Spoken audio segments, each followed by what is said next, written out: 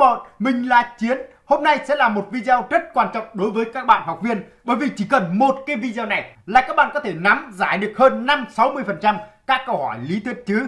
Để làm được điều đó các bạn phải nắm được cho tôi cái mục đích khi chúng ta đi học lý thuyết à đó là hướng tới cho các học viên hiểu chấp hành đúng luật và lái xe an toàn dựa trên cái tiêu chí này, tôi có nghiên cứu và thấy được rằng đặc điểm chung của những đáp án đúng trong 600 câu hỏi thì nó sẽ chứa các cụm từ hướng tới chúng ta tuân thủ theo pháp luật như là cơ quan có thẩm quyền, cấp phép hay là khi lái xe quay đầu xe thì dừng đỗ ở nơi quy định, ở nơi cho phép nha các bạn đáp án nào xuất hiện các cụm từ này thì đáp án đó luôn là đáp án đúng. Còn ngược lại thì sao? Những đáp án nào mà xuất hiện các cụm từ có hành động như là tự ý đi này, quay đầu xe, dừng xe, đỗ xe ở những nơi thuận tiện thì đáp án đó luôn là đáp án sai nha các bạn. Và tiếp theo, đó là những đáp án mà chứa các hành động hướng cho chúng ta lái xe an toàn. Như là chúng ta phải giảm tốc độ đi bên phải, nhường đường về số thấp, về số 1 Đáp án mà xuất hiện các chữ này thì luôn là đáp án đúng nhá Còn ngược lại thì sao? Những đáp án nào xuất hiện các cụm từ như là đi bên trái này, đi ở làn đường bất kỳ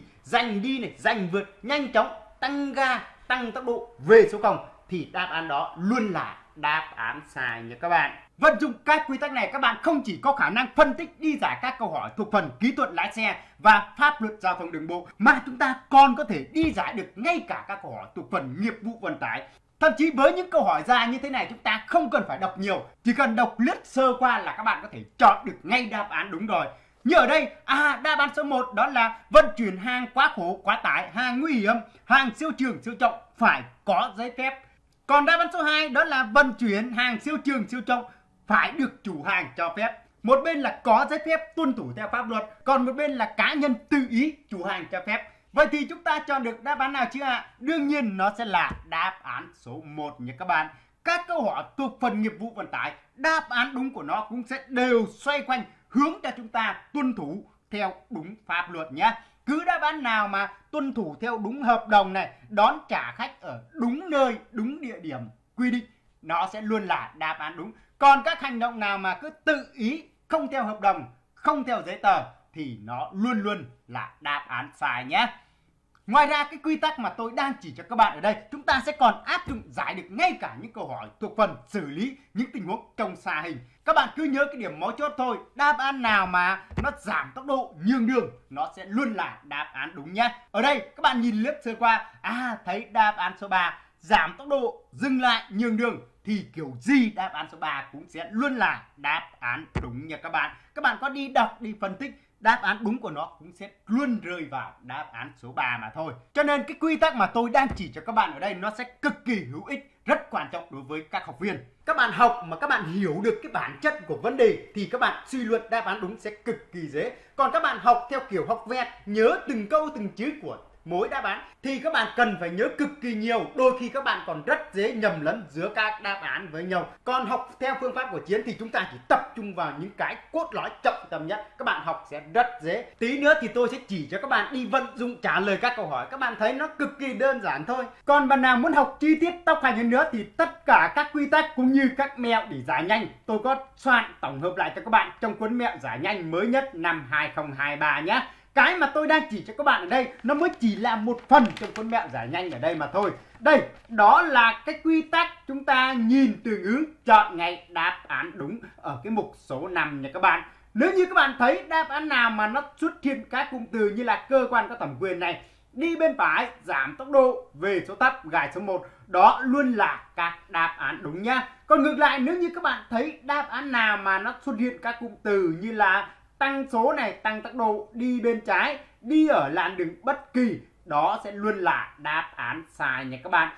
Các câu hỏi áp dụng tôi có ghi chi tiết cho các bạn ở đây luôn nhé trong này sẽ còn rất nhiều các mẹo khác để cho các bạn ôn luyện.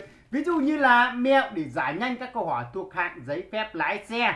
Và còn nhiều mục khác để các bạn giải không chỉ những câu hỏi thuộc phần lý thuyết chứ, mà kể cả các câu hỏi thuộc phần biển báo như biển báo cấm đều có chi tiết ở trong này nha các bạn kể cả các quy tắc cần nhớ như là cấm nhỏ là cấm lớn cấm lớn không cấm nhỏ tôi đều có in sẵn rõ ràng cho các bạn ở đây để cho các bạn học một cách nhanh tốc hành nhất ok bây giờ chúng ta sẽ cùng nhau đi giải các câu hỏi để cho các bạn thấy cái hiệu quả của phương pháp này nhé. Câu hỏi đầu tiên, cuộc đua xe chỉ được thực hiện khi nào? À, chỉ cần nhìn sơ qua đáp án thì các bạn có thể chọn ngay được đáp án số 3. Bởi vì sao ạ? À? Bởi vì tôi đã chỉ cho các bạn rồi. Thấy đáp án nào trước cụm từ cơ quan có thẩm quyền cấp phép, đáp án đó luôn là đáp án đúng nha. Rồi, gõ ngay cho tôi đáp án số 3 thôi.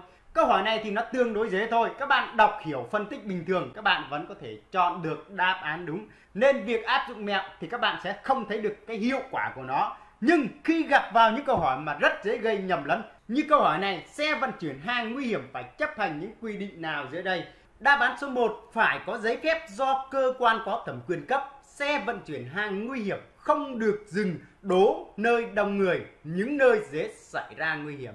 Ở đây đáp án số 1 thấy hợp lý là điều hiển nhiên rồi, bạn nào cũng có thể biết. Nhưng có rất nhiều bạn đang phân vân ở cái đáp án số 2, đó là phải được chuyên chở trên xe chuyên dùng để vận chuyển hàng nguy hiểm. Xe vận chuyển hàng nguy hiểm phải chạy liên tục, không được dừng đỗ trong quá trình vận chuyển rất nhiều bạn đọc lên thấy đáp án số 2 nó cũng hợp lý. Các bạn chọn đáp án số 3 cả y 1 y 2 là các bạn đã mất điểm oan. Nhưng đối với câu hỏi này, nếu như các bạn áp dụng cái mẹo mà tôi vừa mới chỉ, thì các bạn có thể chọn ngay được đáp án số 1 mà không cần phải suy nghĩ. Bởi vì sao ạ? Bởi vì tôi đã nói với các bạn rồi, Đáp án nào xuất hiện cùng từ, cơ quan có thẩm quyền cấp phép Thì chọn ngay cho tôi đáp án đó không cần phải đi đọc, đi phân tích dài dòng làm gì cho mệt. Thấy đáp án số 1 chứa cụm từ cơ quan có thẩm quyền cấp là chọn ngay cho tôi đáp án số 1 mà thôi. Không cần phải đi đọc đáp án số 2 hay là đáp án số 3 viết cái gì nha các bạn. Học theo phương pháp này thì các bạn vừa tiết kiệm được thời gian mà tránh được nhầm lẫn, đảm bảo với các bạn chính xác 100% nhé. Rồi, ok, chuyển qua câu hỏi tiếp theo. À quan sát sơ qua, đối với câu hỏi này các bạn chọn được đáp án nào à đương nhiên, ở đây thấy đáp án số 1 chứa cụm từ cơ quan có thẩm quyền cấp phép. Các bạn làm gì à chúng ta nhớ khẩu quyết. Đáp án nào chứa chữ cơ quan có thẩm quyền cấp phép là các bạn chọn ngay cho tôi thôi. Không cần phải đi đọc câu hỏi, đi phân tích các đáp án, làm gì cho mệt nhé các bạn. Ở đây các bạn có thể tự tin gõ ngay đáp án số 1 cho tôi thôi. Học với chiến thì đảm bảo nhanh, gọn, lẹ, không lôi thôi, dài dòng, giải thích phức tạp, làm gì cho mệt. Rối não. Nhớ càng nhiều thì các bạn càng rối não. Chúng ta chỉ nhớ những cái cốt lõi trọng tâm nhất mà thôi. Ok, chuyển qua câu hỏi tiếp theo. Đối với câu hỏi này, nhìn sơ qua, chúng ta có thể tự tin chọn ngay cho tôi đáp án số 2 làm đáp án đúng. Bởi vì sao? Bởi vì thấy đáp án số 2 có xuất hiện chữ cơ quan có thẩm quyền chấp thuận. À, tôi đã nói rồi, đáp án nào mà được cơ quan có thẩm quyền cấp phép, được nhà nước mình cho phép các hành động đó thì luôn luôn 100% đó là hành động đúng. Chúng ta bắt được cái bài, bắt được cái dàn ý của 600 câu hỏi thì các bạn học thì đơn giản thôi, không có gì là phức tạp cả. Bây giờ chúng ta sẽ đến với câu hỏi tiếp theo. Người lái xe mô tô xử lý như thế nào khi cho xe mô tô phía sau vượt? À, đây là một câu hỏi thuộc phần kỹ thuật lái xe các bạn nếu như đã nắm được những gì tôi đã chỉ thì các bạn giải câu hỏi này sẽ cực kỳ đơn giản thôi. Đặc điểm chung của các đáp án đúng là gì ạ? À? à, đó là nó xuất hiện các cụm từ như là giảm tốc độ, đi bên phải, nhường đường, về số thấp, về số 1 nhé các bạn. Còn những đáp án nào mà xuất hiện các cụm từ như là đi bên trái, đi ở làn đường bất kỳ, tăng số, tăng tốc độ thì đáp án đó luôn là đáp án sai nhé. Rồi, ứng dụng đi giải câu hỏi này các bạn đọc lướt sơ qua các đáp án. Đáp án số 1, nếu đủ điều kiện an toàn, người lái xe phải giảm tốc độ đi sát về phía bên phải. À, giảm tốc độ đi về bên phải luôn là đáp án đúng nha các bạn. Các bạn có thể chọn ngay cho tôi đáp án số 1. Còn đáp án số 2 nó sai ở đây là vì lái xe vào lề đường bên trái tôi đã nói với các bạn rồi, đáp án nào mà đi xe di chuyển về phía bên trái là sai nha các bạn. Các bạn loại đáp án số 2 cho tôi. Đáp án số 3 nếu đủ điều kiện an toàn, người lái xe phải tăng tốc độ. À đáp án nào xuất hiện cụm từ tăng số, tăng tốc độ cũng sai nhé. Nên các bạn loại luôn cho tôi đáp án số 3 luôn nhé các bạn. Chuyển qua câu 241 không cần đọc câu hỏi. Các bạn nhìn sơ qua đáp án. Đáp án số 1 chứa cụm từ về số thấp đáp án số 2 chứa cùng từ về số 0 bạn biết đáp án nào là đáp án đúng chưa ạ? Đương nhiên sẽ là đáp án số 1 nha các bạn. Theo cái câu khẩu quyết tôi chỉ cho các bạn rồi, đáp án nào chứa cùng từ về số thấp?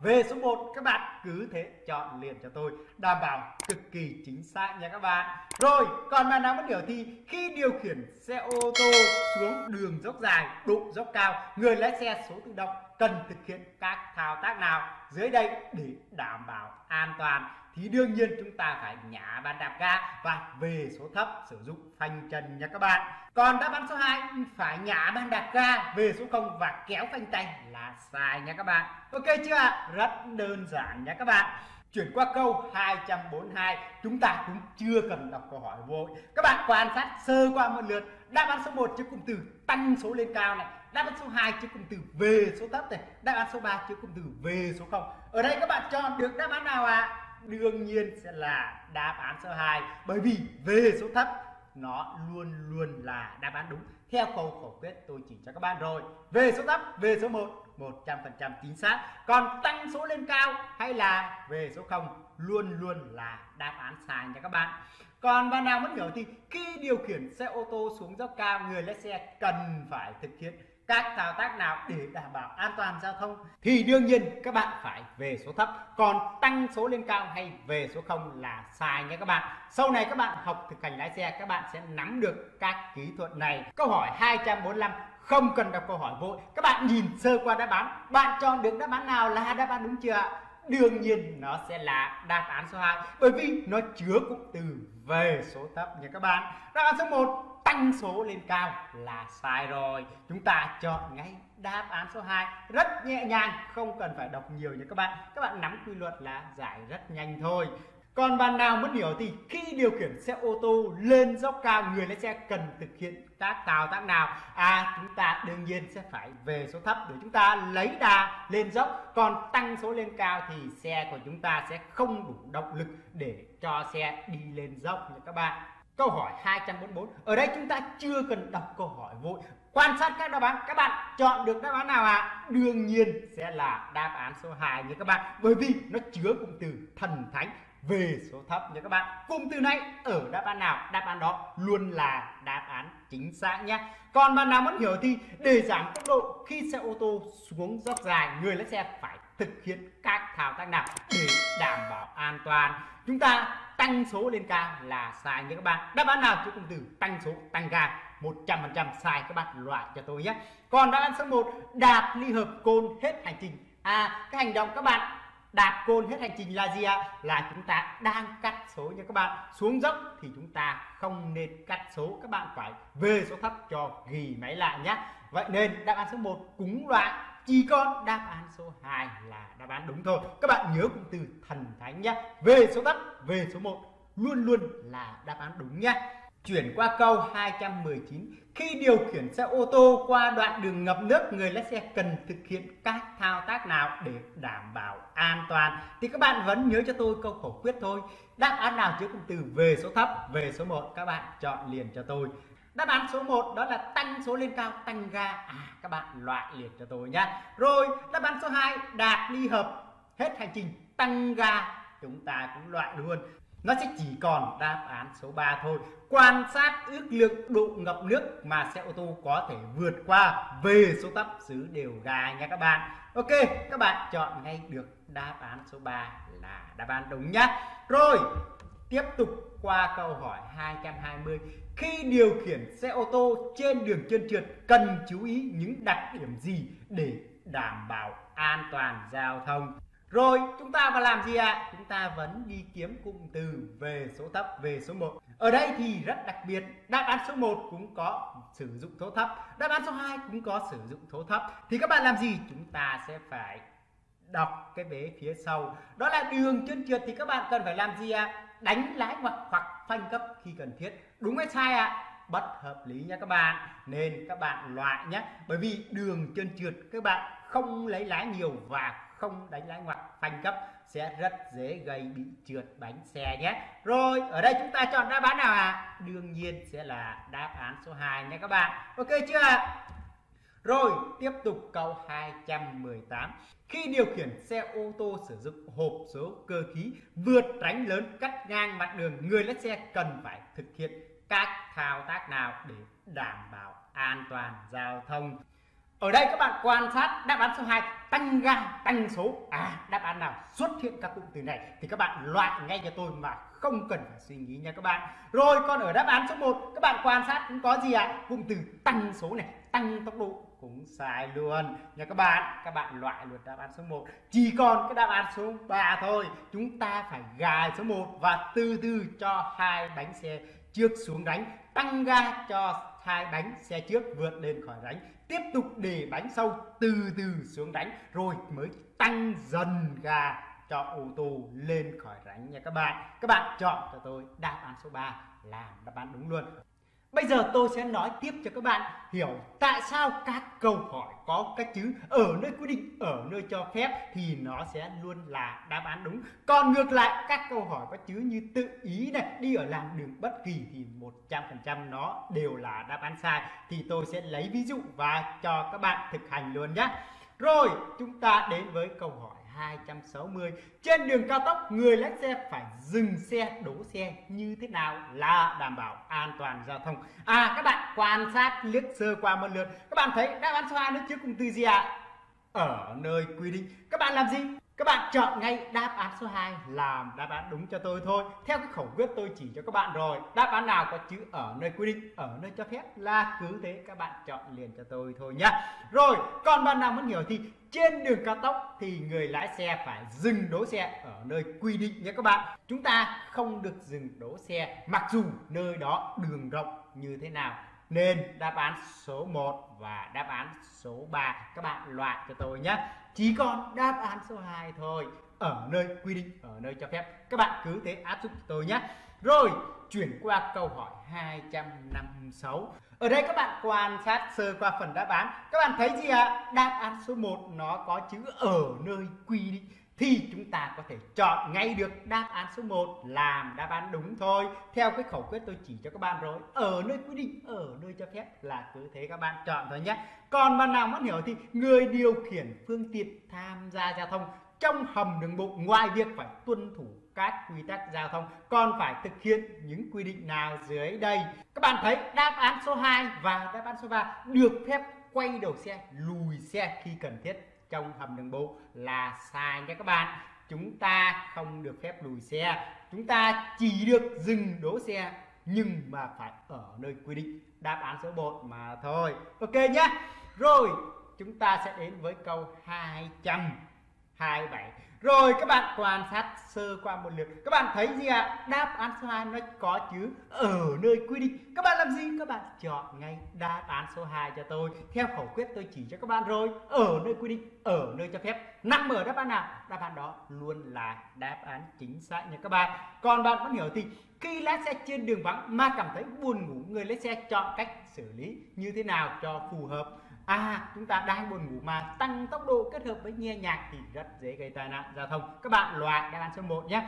Đáp án số 3 là sử dụng một ít rượu bia để hết buồn ngủ cũng sai. Các bạn loại cho tôi nhé. Vậy chỉ còn đáp án số 2 quan sát, dừng xe tại nơi quy định, nghỉ cho đến hết khi buồn ngủ. Rồi, đi tiếp nha các bạn. Câu hỏi 105 rồi, ở đây chúng ta cũng quan sát sơ qua một lượt các đáp án. Các bạn thấy gì ạ? À? đáp án số 2 nó chứa cụm từ ở nơi cho phép các bạn chọn luôn cho tôi. Đáp án số 2 là đáp án đúng thôi. Không cần phải lăn tăn suy nghĩ nhiều nha các bạn. Còn bạn nào muốn hiểu thì trên đường có nhiều làn đường cho xe đi cùng chiều được phân biệt bằng vạch kẻ phân làn đường. Người điều khiển phương tiện phải cho xe đi như thế nào? Đáp án số 1 đi ở làn đường bất kỳ.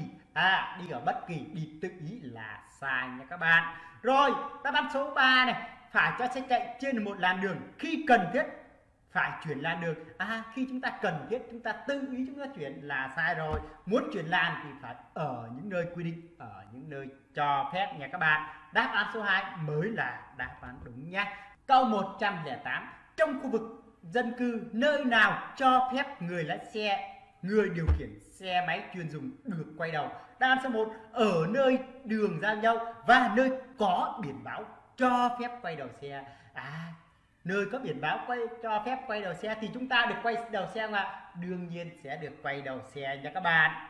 Chúng ta chọn đáp án số 1 cho tôi. Còn đáp án số 2 vì sao nó sai ạ? À? tại vì ở nơi đường rộng để cho các xe chạy một chiều. Chúng ta muốn quay đầu xe thì phải ở nơi có biển báo, chúng ta mới được quay đầu xe. Còn chúng ta tự ý chúng ta quay đầu xe ở nơi đường rộng hay ở bất cứ nơi nào? Đáp án số 3 đáp án số 2 là sai nha các bạn bạn đang lái xe trong khu đông dân cư, có đông xe qua lại. Nếu muốn quay đầu xe, bạn cần phải làm gì để tránh ùn tắc và đảm bảo an toàn giao thông? Đáp án số 1 đi tiếp đến nơi giao cắt gần nhất hoặc nơi có biển báo cho phép quay đầu xe. À có biển báo cho phép quay đầu xe. Các bạn có được quay đầu không ạ? Đương nhiên sẽ được quay đầu nha các bạn. Các bạn có thể chọn ngay đáp án số 1 làm đáp án đúng rồi bởi vì sao ạ? Bởi vì đáp án số 2 bật đèn tín hiệu khẩn cấp và quay đầu xe từ từ để đảm bảo an toàn. Chúng ta không có biển báo cho phép quay đầu xe mà bạn bật đèn tín hiệu khẩn cấp, bạn tự ý bạn quay đầu xe là sai rồi nhé. Đáp án số 3 bấm còi liên tục để cảnh báo xe khác. Khi chúng ta muốn quay đầu cũng sai luôn, cũng tự ý là sai nha các bạn. Đáp án số 4 đó là nhờ một người ra tín hiệu giao thông trên đường đi chậm lại để quay đầu xe cũng sai. Chúng ta phải tuân thủ theo pháp luật, ở nơi quy định, ở nơi cho phép, ở nơi có biển báo, chúng ta mới được quay đầu xe nhé.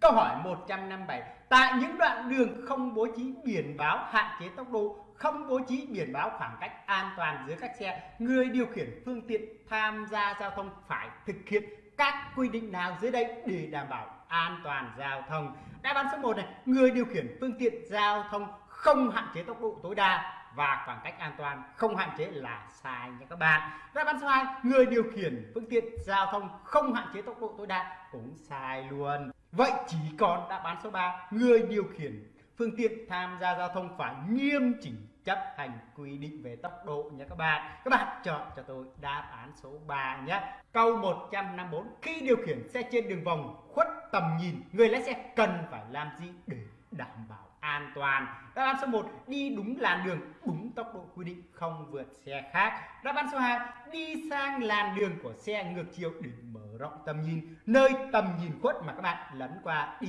qua làn đường ngược chiều sẽ rất dễ gây tai nạn. Nên đáp án số 2 các bạn loại nhé. Đáp án số 3 đó là cho xe đi sát bên phải, bật tín hiệu để vượt bên phải các xe khác. Vượt bên phải là sai, chúng ta chỉ được phép vượt bên trái thôi nha các bạn. Vậy là đáp án số 2 số 3 sai. Chúng ta chỉ có đáp án số 1 là đáp án đúng. Chúng ta phải chấp hành đúng tốc độ quy định nha các bạn. Đi đúng làn đường nhé.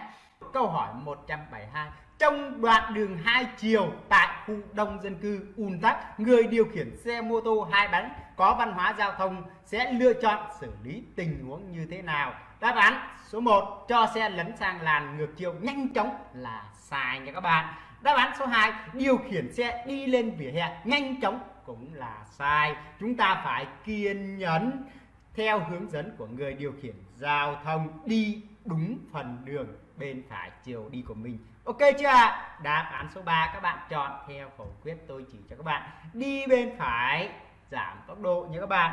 Ok nhé câu hỏi 106 trên đường một chiều có vạch kẻ phân làn đường, xe thô sơ và xe cơ giới phải đi như thế nào là đúng quy tắc giao thông. À các bạn quan sát này, đáp án số 1 có chữ gì ạ? Có chữ bên trái. Các bạn loại ngay cho tôi đáp án số 1 nhé. Đáp án số 3 có chữ gì ạ? Chữ xe thô sơ đi ở làn đường phù hợp. Các bạn cũng loại luôn cho tôi. Bởi vì sao ạ? Bởi vì xe thô sơ thì chúng ta phải đi trên làn đường bên phải trong cùng nha các bạn. Đáp án số 2 các bạn chọn liền cho tôi. Đó là đáp án đúng. Theo cái khẩu quyết thấy chữ đi bên phải giảm tốc độ các bạn chọn liền cho tôi. Còn bạn nào muốn hiểu thì cái quy tắc giao thông của Việt Nam á, quy định xe thô sơ xe có tốc độ thấp hơn sẽ phải đi ở làn bên phải trong cùng. Còn những loại xe cơ giới đi với tốc độ cao hơn sẽ đi ở phần làn đường bên trái nha các bạn. Câu 224 khi điều khiển xe ô tô trong trời mưa, người lái xe phải xử lý như thế nào để đảm bảo an toàn? Các bạn quan sát sơ một lượt. Đáp án số 2 phanh gấp này, tăng ga này. À chứa cái cụm từ này thì luôn luôn 100% là sai nha các bạn. Đáp án số 3 đó là bật đèn chiếu xa tăng tốc độ cũng sai luôn nha các bạn. Chúng ta phải làm gì à phải giảm tốc độ. Cụm từ giảm tốc độ ở đáp án nào? Các bạn chọn ngay đáp án đó là đáp án đúng theo khẩu quyết tôi chỉ cho các bạn rồi. Ok chưa rồi, chuyển qua câu 222 các bạn quan sát một lượt, các bạn chọn được đáp án nào chưa ạ? Không cần đọc câu hỏi. Các bạn thấy đáp án số 1 giảm tốc độ là các bạn có thể chọn luôn. Bởi vì đáp án số 2 tăng tốc độ chúng ta gạch. Đáp án số 3 tăng tốc độ cũng gạch luôn nha các bạn. Ok nhé, các bạn chỉ nhớ khẩu quyết thôi. Câu hỏi 216 khi đi từ đường nhánh ra đường chính, người lái xe phải xử lý như thế nào là đúng quy tắc giao thông? Các bạn chỉ cần nhớ cho tôi, nếu như bất cứ trong trường hợp nào khi đi từ đường nhánh ra đường lớn hơn, thì các bạn làm gì ạ? À? chúng ta phải nhường đường cho xe trên đường chính hoặc là đường ưu tiên nhé các bạn, và giảm tốc độ. Ok chưa ở đây chúng ta chọn được đáp án nào à đương nhiên chúng ta chọn được đáp án số 1 bởi vì nó có cụm từ giảm tốc độ nha các bạn. Đáp án số 2 này, tăng tốc độ. Đáp án số 3 cũng tăng tốc độ. Khi qua nơi giao nhau, chúng ta vào đường chính là sai nha các bạn. Các bạn học nó nhẹ nhàng, đơn giản thôi, không cần phải khó khăn gì. Chỉ cần chúng ta biết cái phương pháp để chúng ta học nhé. Câu hỏi 226 khi đèn pha của xe đi ngược chiều gây chói mắt, làm giảm khả năng quan sát trên đường người lái xe phải xử lý như thế nào để đảm bảo an toàn? Các bạn quan sát ở đây, đáp án số 1 nó chứa cụm từ gì ạ? Chứa cụm từ giảm tốc độ. Các bạn có thể chọn ngay cho tôi đáp án số 1 là đáp án đúng nha các bạn. Còn bạn nào muốn hiểu thì đáp án số 2 chúng ta gặp xe ngược chiều mà chúng ta bật đèn chiếu xa dưới nguyên tốc độ là xe bên kia sẽ bị chói mắt, rất dễ gây tai nạn. Nên sai nhé. Đáp án số 3 là tăng tốc độ. Cụm từ này nó luôn nằm ở các đáp án sai nha các bạn ok chưa rồi câu hỏi 225 khi tầm nhìn bị hạn chế bởi sương mù hoặc mưa to, người lái xe phải thực hiện các thao tác nào? À các bạn nhìn sơ qua, đáp án số 1 tăng tốc độ các bạn loại liền cho tôi. Đáp án số 3 tăng tốc độ các bạn cũng loại luôn cho tôi. Chỉ còn đáp án số 2 chứa cụm từ giảm tốc độ các bạn chọn liền cho tôi. Đó là đáp án đúng nha các bạn. Câu hỏi 161. Khi gặp xe buýt đang dừng đón trả khách, người điều khiển xe mô tô phải xử lý như thế nào? Dưới đây để đảm bảo an toàn. À, đáp án số 1 tăng tốc độ là các bạn loại rồi. Đáp án số 2 giảm tốc độ. Các bạn làm gì ạ? Chọn ngay cho tôi đáp án số 2 luôn. Bởi vì sao? Bởi vì đáp án số 3 yêu cầu phải đứng lại phía sau xe buýt chờ xe buýt rời đi rồi mới được đi tiếp trời ơi chúng ta chờ xe buýt thì không thể chờ nổi nha các bạn các bạn vẫn được quyền các bạn lưu thông bình thường nhé Ok, có phải là đáp án số 2 chứa cụm từ giảm tốc độ theo cái khẩu quyết tôi chỉ cho các bạn không ạ? À? Rồi, chuyển qua câu 109. Khi điều khiển xe chạy trên đường biết có xe phía sau xin vượt nếu đủ điều kiện an toàn các bạn phải làm gì ạ? À? à, chúng ta tăng tốc độ đúng hay sai ạ? À? Đương nhiên là sai rồi nha các bạn. Đáp án số 2 đó là người điều khiển phương tiện giao thông phía trước phải giảm tốc độ đi bên phải. Giảm tốc độ đi bên phải nằm ở đáp án nào? Đáp án đó luôn là đáp án đúng nhá. Các bạn có thể chọn ngay cho tôi đáp án số 2 bởi vì sao bởi vì đáp án số 3 đó là cho xe tránh về phía bên trái là sai nha các bạn. Ok chưa rồi, câu hỏi 211 khi điều khiển xe ô tô rẽ phải ở chỗ đường giao nhau người lái xe cần thực hiện các thao tác nào để đảm bảo an toàn? Đáp án số 1 này, có tín hiệu rẽ phải, quan sát phía sau, điều khiển cho xe sang làn đường bên trái. À có tín hiệu rẽ phải mà anh lại điều khiển xe qua làn đường bên trái. Có chữ bên trái là các bạn loại cho tôi nhé đáp án số 2 này, cách chỗ rẽ một khoảng cách an toàn, có tín hiệu rẽ phải, quan sát phía sau, cho xe bám vào phía bên phải, giảm tốc độ. Là chính xác nha các bạn. Bởi vì sao? Bởi vì đáp án số 3 cách chỗ rẽ một khoảng cách an toàn, có tín hiệu rẽ phải, quan sát phía sau. Và đặc biệt, xong đó rồi các bạn làm gì ạ? Các bạn tăng tốc độ là sai. Ok chưa ạ? Câu hỏi 165 Trên làn đường dành cho ô tô có vũng nước lớn, Có nhiều người đi xe mô tô trên làn đường bên cạnh. Người lái xe ô tô phải xử lý như thế nào? Là có văn hóa giao thông. Đáp án số 1 này, cho xe chạy thật nhanh. À chạy thật nhanh là sai các bạn loại nhé. Đáp án số 2 giảm tốc độ cho xe chạy chậm vào vùng nước. Đáp án số 3 giảm tốc độ cho xe chạy qua làn mô tô để tránh vũng nước. Đáp án số 3 các bạn qua làn mô tô chúng ta, lẫn làn chúng ta không nhường đường cho mô tô. Vậy nên ở đây chúng ta chọn được đáp án nào à đương nhiên sẽ là đáp án số 2 nha các bạn. Giảm tốc độ cho xe chạy chậm nhé, chứ chúng ta không thể giảm tốc độ rồi lấn qua làn của xe khác được. Câu hỏi 155 Người lái xe phải xử lý như thế nào khi quan sát phía trước thấy có người đi bộ sang đường tại nơi có vạch? Kẻ đường dành cho người đi bộ để đảm bảo an toàn. Đáp án số 1 giảm tốc độ từ từ để vượt qua người đi bộ. À chúng ta giảm tốc độ thì sẽ phải đi kèm với cụm từ đó là giảm tốc độ cho xe chạy chậm, nhường đường nha các bạn. Còn chúng ta vượt qua người đi bộ là chúng ta không nhường đường rồi. Nên ở đây chúng ta loại đáp án số 1 nhé. Đáp án số 2 giảm tốc độ có thể dừng lại một cách cần thiết trước vạch chừng để nhường đường cho người đi bộ qua đường là chúng ta chọn luôn cho tôi. Bởi vì đáp án số 3 có chữ tăng tốc độ là sai nha các bạn. Ở đây các bạn gõ ngay đáp án số 2 câu hỏi 167 trong các hành vi dưới đây, người lái xe mô tô có văn hóa giao thông phải ứng xử như thế nào? Đáp án số 1 đi xe ở phần đường lan đường có ít phương tiện tham gia giao thông. Chúng ta đi tự ý chỗ nào ít thì các bạn đi là sai nha các bạn. Đáp án số 1 sai dẫn tới đáp án số 3 cũng sai luôn. Vậy chỉ còn đáp án số 2 đó là chấp hành quy định về tốc độ đèn tín hiệu biển báo hiệu nha các bạn. Các bạn chọn ngay đáp án số 2 cho tôi nhé như tôi đã nói từ đầu, quy tắc này nó sẽ áp dụng được cho cả các câu hỏi về xử lý các tình huống trong xa hình nhé. Đối với câu hỏi này, thậm chí các bạn không cần đọc câu hỏi, các bạn chỉ cần nhìn sơ qua các bạn có thể chọn ngay được ý số 2 làm đáp án đúng. Bởi vì sao ạ? À, các bạn thấy đáp án số 2 nó chứa cụm từ giảm tốc độ. Tôi đã chỉ cho các bạn rồi, bất cứ đáp án nào chứa cụm từ giảm tốc độ thì đáp án đó luôn là đáp án đúng nhá. Giảm tốc độ ở ý số 2 thì cứ ý số 2 các bạn gõ ngay cho tôi thôi, không cần phải lăn tăn suy nghĩ làm gì cho mệt nha các bạn. Còn bạn nào không tin thì bây giờ đọc câu hỏi lên xem có phải đúng số 2 là đáp án chính xác không nhé. Mặc dù những câu hỏi này có thể phân tích ra được nhưng nếu như áp dụng mẹo thì các bạn sẽ dành được nhiều thời gian để đi trả lời những câu hỏi khó hơn nhé.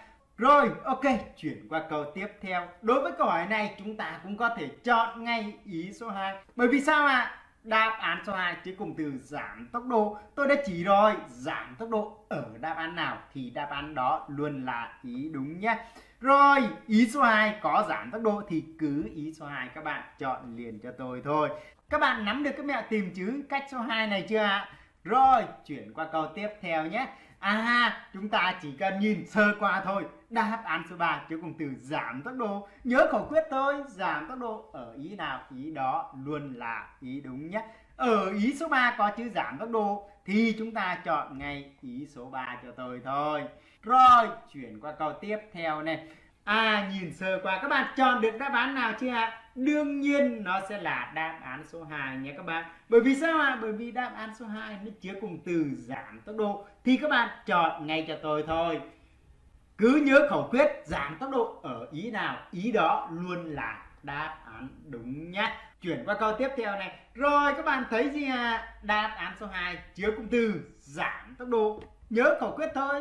Giảm tốc độ ở ý nào chọn ngay cho tôi? Ý đó làm đáp án đúng. Vậy là chúng ta chọn được đáp án số 2 giảm tốc độ, rẽ trái sau xe tải và xe đạp nhé các bạn. Không cần đọc câu hỏi, không cần phân tích luôn, cũng vẫn có thể chọn được ý đúng nhé rồi, ok, chuyển qua câu tiếp theo. Bạn xử lý như thế nào trong trường hợp này? À tôi đã chỉ cho các bạn rồi. Nếu như đáp án nào xuất hiện cụm từ giảm tốc độ Thì các bạn chọn luôn đáp án đó là đáp án đúng. Nhưng ở câu hỏi này, Ý số 2 cũng có chữ giảm tốc độ, Ý số 3 cũng có chữ giảm tốc độ Thì các bạn hãy nhớ cho tôi, Nếu như câu hỏi có xuất hiện chữ giảm tốc độ ở cả hai đáp án Thì một trong hai đáp án đó là đáp án đúng nha các bạn chúng ta hãy xét tới cái vế phía sau, giảm tốc độ rồi thì chúng ta phải làm gì ạ? Đó là phải nhường đường hoặc là đi về bên phải.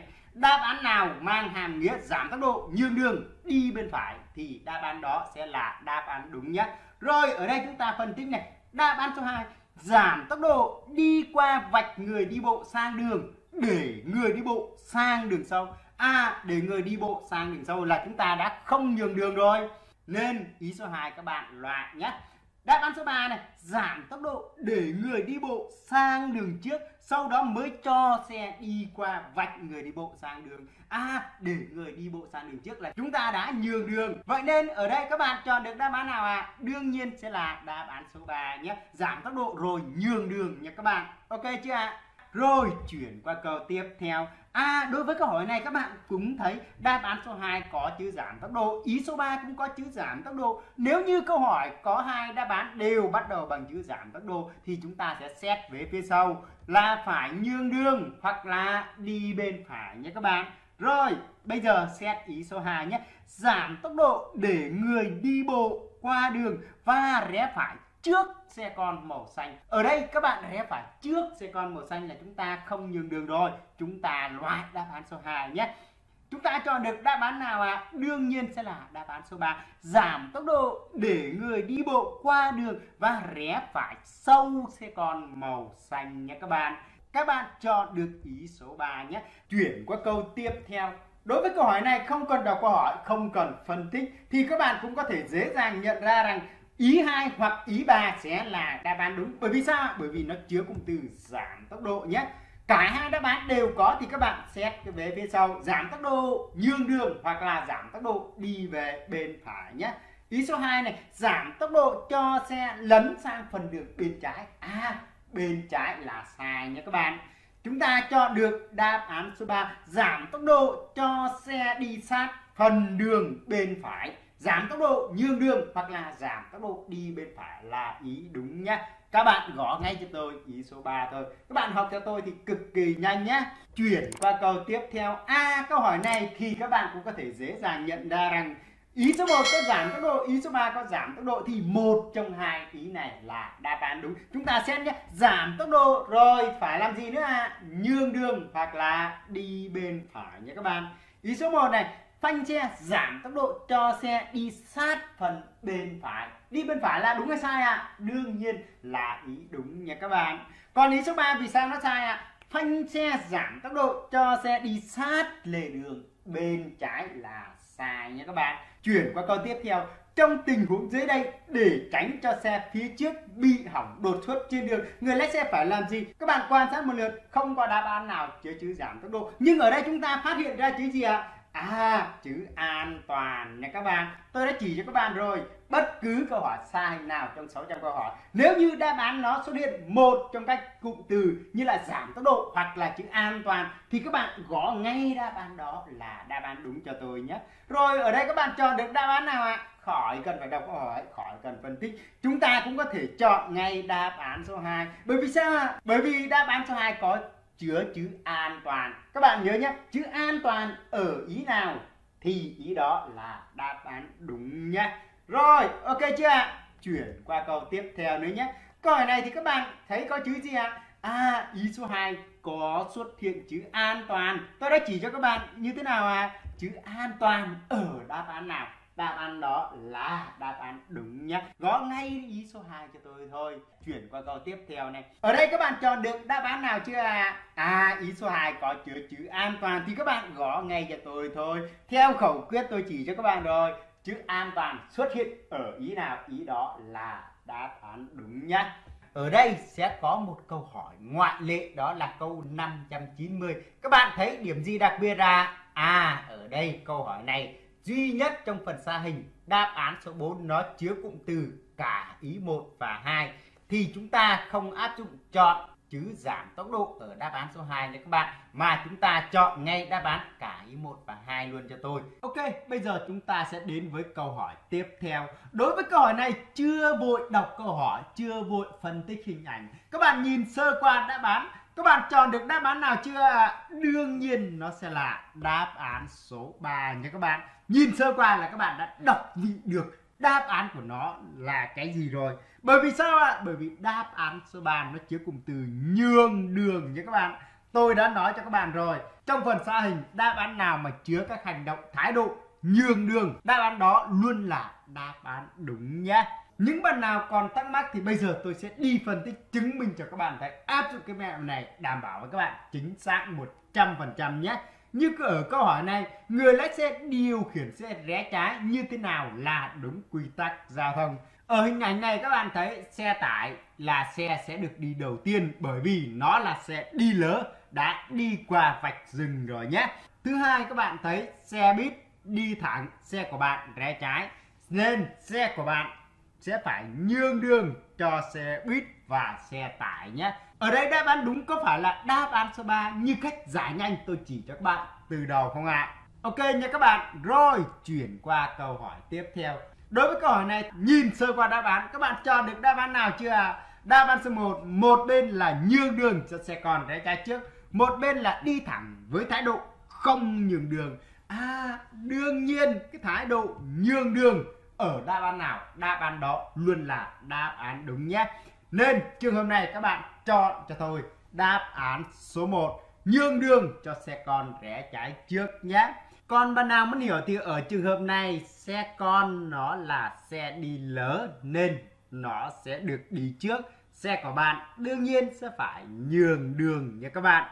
Ok chưa ạ? Rồi chuyển qua câu hỏi tiếp theo bạn xử lý như thế nào trong trường hợp này à tôi đã nói với các bạn rồi đáp án nào mà người lái xe thể hiện thái độ nhường đường là các bạn chọn ngay cho tôi đáp án đó nhé. Rồi, ở đây chúng ta cùng phân tích từng đáp án một nhé.